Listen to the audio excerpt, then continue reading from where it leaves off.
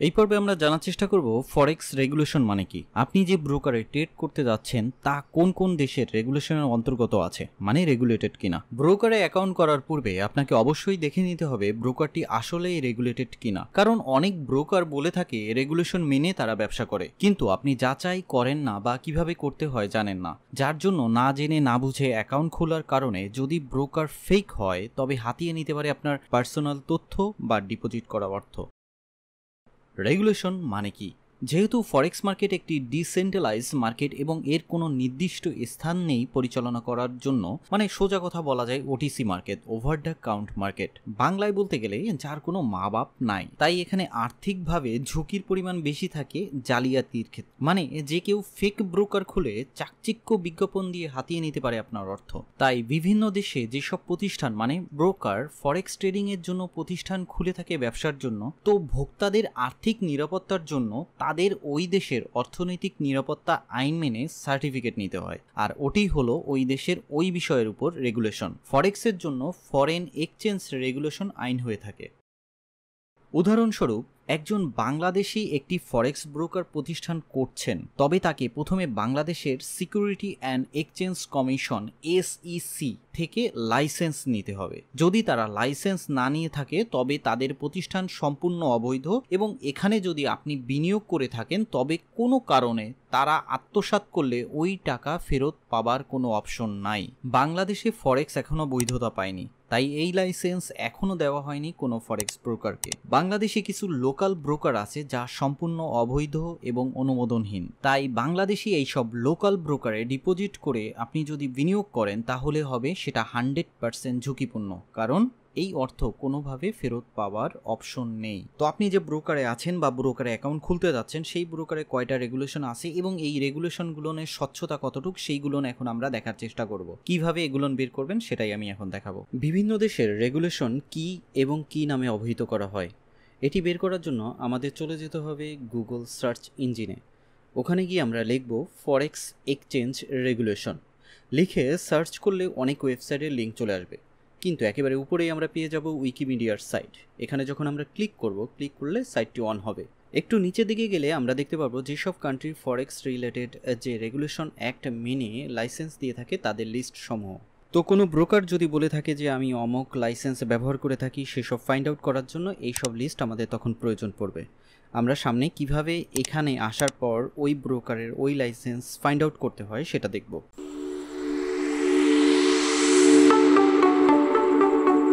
সবাইকে শুভেচ্ছা সাই টিউবে সঙ্গে থাকতে সাবস্ক্রাইব করে বেল বটনটি ক্লিক করে রাখবেন, কারণ পরবর্তী ভিডিও নোটিফিকেশনের মাধ্যমে সাথে সাথে পেয়ে যাবেন। সো আমি এখন হচ্ছে গুগলে আসি এখান থেকে আমরা সার্চ করব হচ্ছে এক্সনেক্স ব্রোকার কোন কোন রেগুলেশনের আন্ডারে আছে সেটা এবং এটা সত্যতা আছে কি না মানে কীভাবে ফাইন্ড আউট করতে হবে সেটা। এখানে একটা বিষয় আপনাদের জানিয়ে রাখি, সেটা হচ্ছে যেসব ব্রোকার নামি দামি ব্রোকার, সোজা কথা টপ লেভেলের ব্রোকার, এরা হচ্ছে কি তাদের লাইসেন্স এবং কোন রেগুলেশনে সেটা লিঙ্ক দিয়ে দেয় প্রোভাইড করে দেয় তাদের ওয়েবসাইটেই যে এই লিঙ্কে ক্লিক করলে আপনারা ফাইন্ড আউট করে নিতে পারবেন যে আমরা এই রেগুলেশনের অন্তর্গত কিনা এবং আমাদের লাইসেন্সটা আছে কিনা। যেগুলো থার্ড ক্লাস ব্রোকার এবং যাদের একটু সমস্যা আছে, তারা করে কি বিভিন্ন ধরনের সার্টিফিকেট ক্রিয়েট করে বা সেটার একটি স্ক্রিনশট দিবে বা একটা কোড দিয়ে দেবে বাট ওখানে কোনো লিঙ্ক ক্রিয়েট থাকবে না, যে লিঙ্কে ক্লিয়ার মানে ক্লিক করলে পরে আপনি সরাসরি ওখানে চলে যাবেন।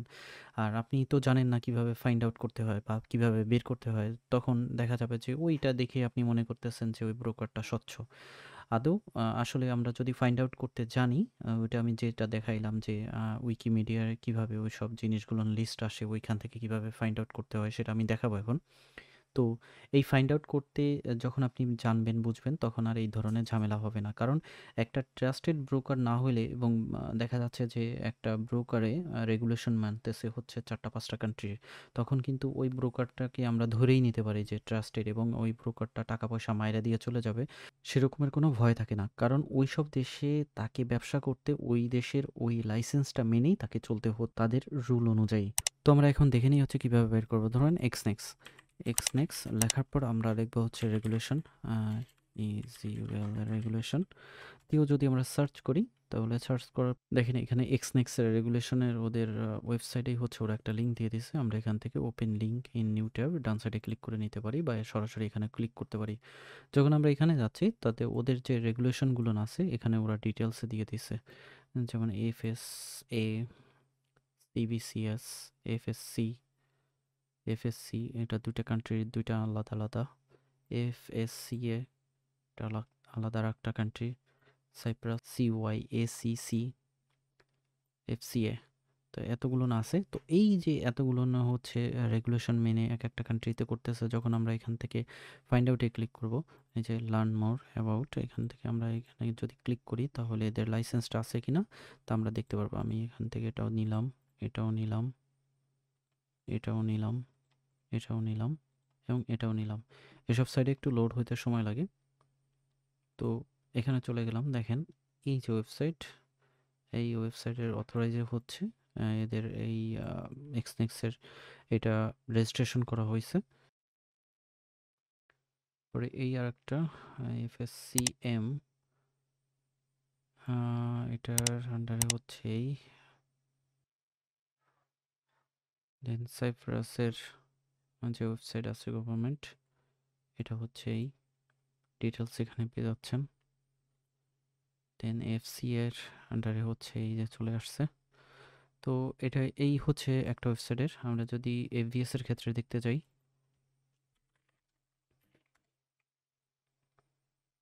দেখেন রেগুলেশন অ্যান্ড লাইসেন্স সেমভাবে আমরা ওভাবে ফাইন্ড আউট করতে পারব।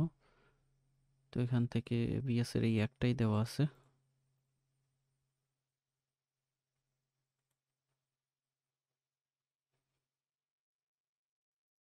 একটু লোডিং নিচ্ছে।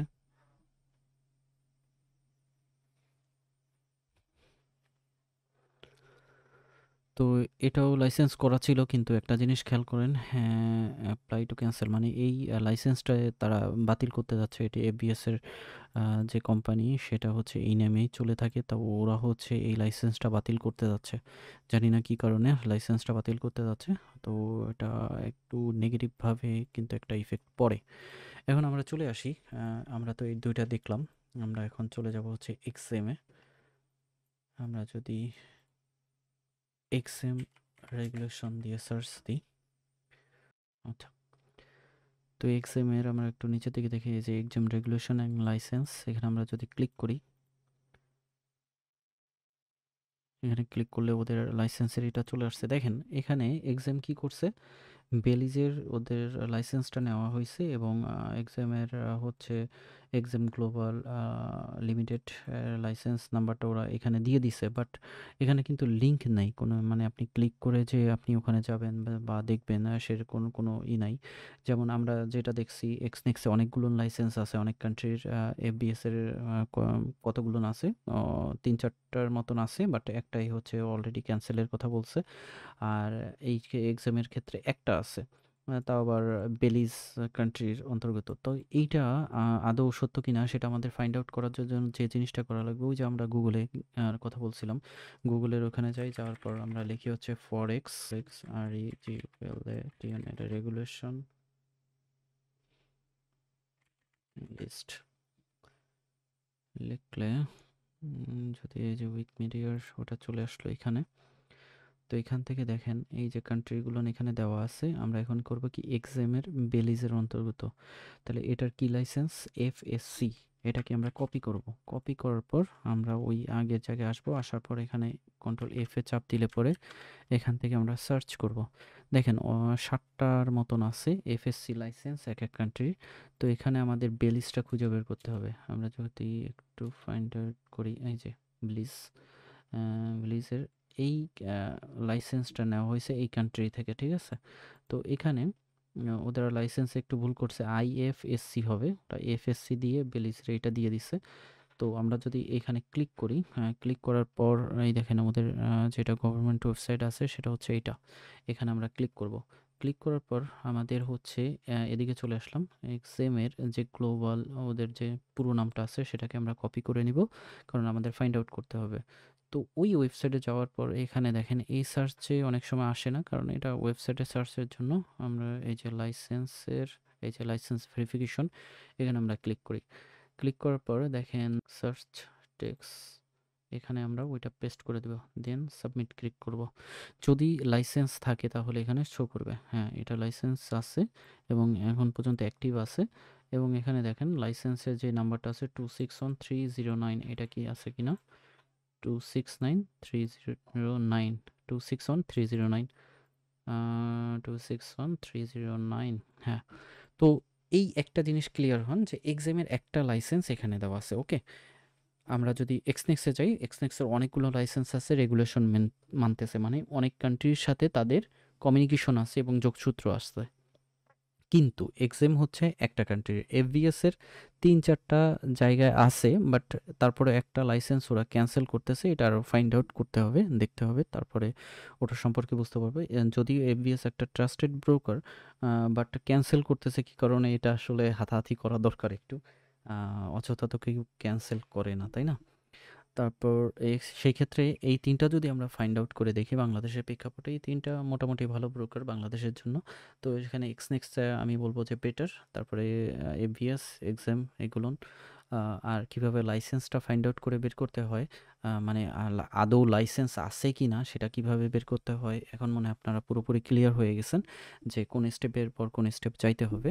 তো এই সব যখন আপনারা দেখবেন এবং বের করতে পারবেন, তখন ওই ব্রোকারে আদৌ ইনভেস্টমেন্ট করাটা আপনাদের জন্য ঝুঁকিপূর্ণ হবে কি না এবং ভালো হবে কি না সেটা কিন্তু আপনি বুঝে যাচ্ছেন। কারণ হচ্ছে এই সব আপনার লোকাল যে ব্রোকারগুলো আছে, তারা যদি বলে থাকে যে আমরা এই লাইসেন্সের অন্তর্গত আছি, তাহলে ওই লাইসেন্স দিয়ে আপনি যখন ওভাবে যাবেন, যাওয়ার পর সার্চে দেবেন, যদি না পান, তাহলে বুঝে যাবেন ব্রোকারটা থার্ড ক্লাস বা ফেক ব্রোকার তো ব্রোকারে ইনভেস্টমেন্টের আগে অবশ্যই এই সব ব্রোকারে আদৌ কোন কোনো কান্ট্রির লাইসেন্স আছে কি না, এইটা ফাইন্ড আউট করে নিতে হয়। এই সব বিষয়গুলো চলে আসে যখন একটা ব্রোকারে আপনি অ্যাকাউন্ট খুলতে যাবেন হ্যাঁ সেই ব্রোকারটা কতটুকু স্বচ্ছ স্বচ্ছ কিনা রেগুলেশন মাইনা চলে কিনা, এইসব দেখা টেখে সেখানে ইনভেস্টমেন্ট করা টা ভালো। আর যে ব্রোকারে দেখবেন যে বিভিন্ন জায়গার লাইসেন্স আছে অ্যাড আছে সেই সব ব্রোকারে আপনি যদি অ্যাকাউন্ট খুলেন, সেটা একটু স্বচ্ছতা বেশি থাকে। কারণ হচ্ছে বিভিন্ন দেশের কান্ট্রিতে যখন সে ব্রোকার ব্যবসা করে, অবশ্যই সে আপনার সাথে কোনো ধরনের উল্টাপাল্টা কাজ করবে না বা আপনার টাকাটা মেরে দিয়ে চলে যাবে না। যাদের লাইসেন্স নেই, সেসব ব্রোকার থেকে দূরে থাকাটাই শ্রেয়। তো আজকে হয়তো বুঝতে পারলেন কীভাবে ব্রোকার আসলে চয়েস করতে হয় এবং কীভাবে ফাইন্ড আউট করতে হয়। তো আজকের ভিডিওটা এই পর্যন্তই।